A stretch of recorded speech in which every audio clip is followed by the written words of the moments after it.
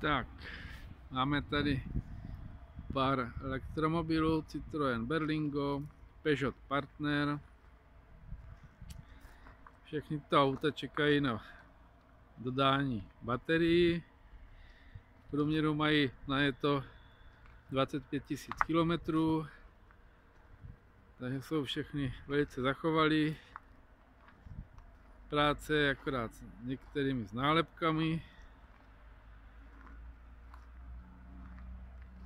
Auta jsou kompletní s nabíječkama, pouze se systém rozhodl, že jich odstaví z provozu, protože tomu nezajistil servis.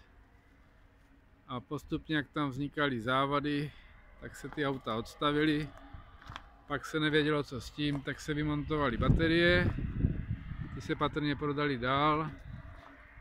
A tisíce aut se poslalo do hutí, což je velká škoda. PSA je kvalitní auto, pozinkovaná karoserie.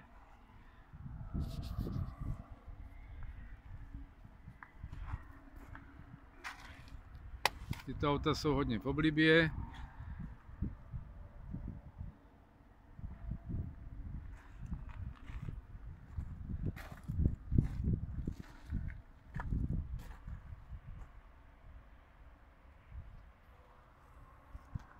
Mají před sebou do konce roku ještě dobu, než půjdou taky na likvidaci.